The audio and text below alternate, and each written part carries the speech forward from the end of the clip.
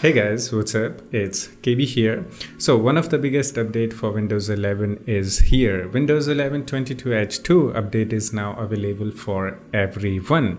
And yes, this is the perfect time to upgrade to the Windows 11. If you're someone who is still using Windows 10 and want to upgrade to the Windows 11, this is the time. Yes, for existing Windows 11 users, you should upgrade to the Windows 11 22H2 right now because Windows 11 22H2 update brings many improvements and many new features. Even if you don't care about the new features, you should upgrade to the Windows 11 22H2 if you're using the Windows 11, the old one, because this version of Windows 11 is actually improved a lot. And many missing features and simple things that were not present in Windows 11 first release uh, they are fixed now. For example, simple drag and drop that you can do on Windows 10 but you can't in Windows 11 is now you can in Windows 11 22H2. If you're on Windows 11 old version, I mean there is no two ways. You have to, okay?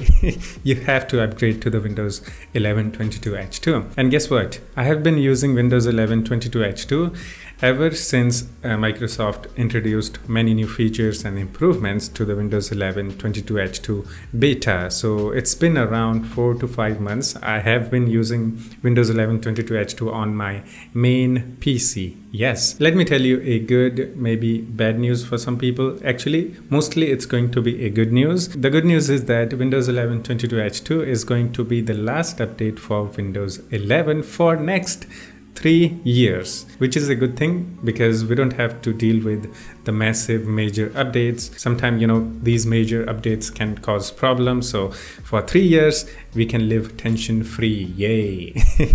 and kind of a bad news is that after three years, maybe in 2024 or 2025, we might see a next version of Windows, maybe Windows 12. Because of this major update change, many people are thinking that we might see a next version of Windows. That's like a little bit of sad news for some people because you know we have to keep upgrading to the next version of Windows. So that really sucks. Now let me show you guys some of the new features in Windows 11 22H2.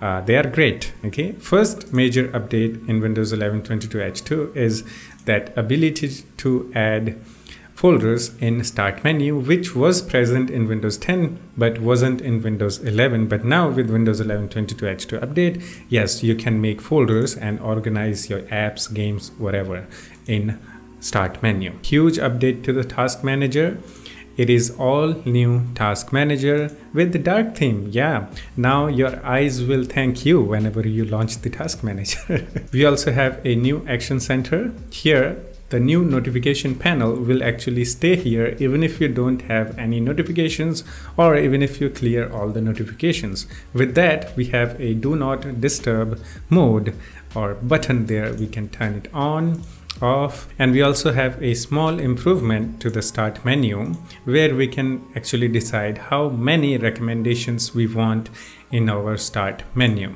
We can make it look big and it will show less pinned applications or we can go default which will you know split the start menu or we can go more pins which will show you more pinned applications and less recommended applications. And there are many other features that you can explore by yourself by upgrading to the Windows 11 22H2 and uh, yeah these are some of the features that you see on daily use. So yeah now maybe some of you guys may ask how do I get the Windows 11 22H2 update? You can go to the Windows update and check for update and you'll get the Windows 11 22H2 update if your PC is compatible. That's the simplest way or go to this Microsoft's official website from here you can actually download the Windows 11 22H2 ISO file or a upgrade assistant tool which will help you to upgrade to the Windows 11 22H2. That's it. Hope you enjoyed it guys. If you still have any questions or any suggestions for me, please do the comment. Yeah, we can have some chit chat in the comments. Yeah, that's it. I will see you in the next one. Take care of yourself and have fun. Bye bye.